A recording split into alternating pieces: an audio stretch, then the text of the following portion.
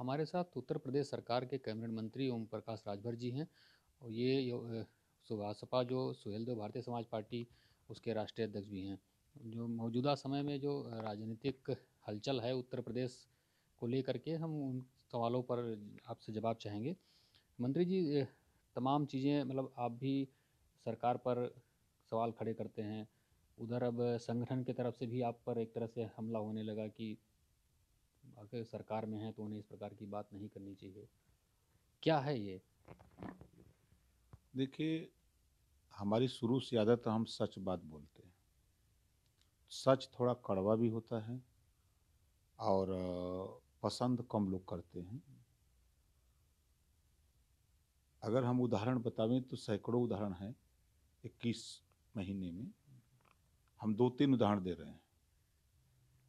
एक supreme court ने फैसला दिया था एस सी एक्ट पर, कि मुकदमा पंजीकृत हो जाँच के बाद, जो दोषी है उसके खिलाफ कार्रवाई निर्दोष के खिलाफ कार्रवाई न हो। भारतीय जनता पार्टी केंद्र में सरकार में है, कैबिनेट से उस फैसले को बदल दिया।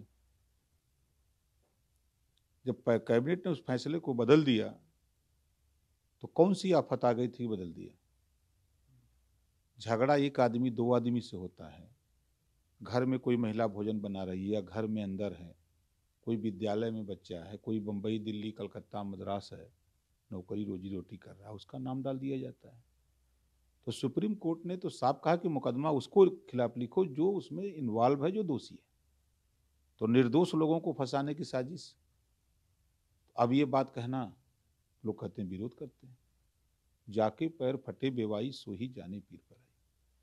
जिस परिवार के ऊपर झगड़ा एक आदमी से होता है, आठ आदमी एस सी में फंसा दिए जाते हैं, उस परिवार से पूछिएगा, तब मालूम हो अब इसको जब हम बोले तो लोग कहते हैं, विरोध है। आज जैसे मुगल सराय स्टेशन का नाम बदला गया। स्टेशन का नाम बदलने से तो ट्रेन सही समय पर नहीं हुई। ट्रेन की जो दुर्व्यवस्था है, उसको ठीक करने की ज़रूरत है। ज़िले का नाम बदल देने से ज़िले का तो विकास नहीं हो जाएगा। ज़िले में जो सड़कें खराब हैं, जो व्यवस्था ज़िले में खराब है, उसको ठीक करने की ज़रूरत है। अब इसको कहिए तो कहते हैं, विरोध बोलते हैं। अब हम जैसे 27 परसेंट आरक्षण, जब माननीय राजनाथ सिंह जी मुख्यमंत्री थे यूपी में तो उन्होंने सामाजिक न्याय समिति बनाई। सामाजिक न्याय समिति ने रिपोर्ट दिया, पिछड़ा, अति पिछड़ा और सर्वाधिक पिछड़ा, तीन कैटेगरी बना के सबको हिस्सा दिया जाए। उस रिपोर्ट को लागू करने के लिए भारतीय जनता पार्टी ने हमसे वादा किया।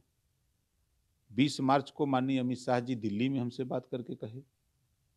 11 अप्रैल को लखनऊ में माननीय मुख्यमंत्री जी थे, मैं था, महेंद्रनाथ पांडे जी थे, राणा अजीत प्रताप सिंह थे और माननीय अमित शाह जी। पाँच लोगों के बीच में यह तय हुआ। कि छः महीना पहले हम लागू करेंगे। अब तो कुल गिनती से सौ दिन चुनाव के बचे हुए हैं। अब कब करेंगे? अब इस बात को कह रहे हैं तो संगठन को बुरा लग रहा है।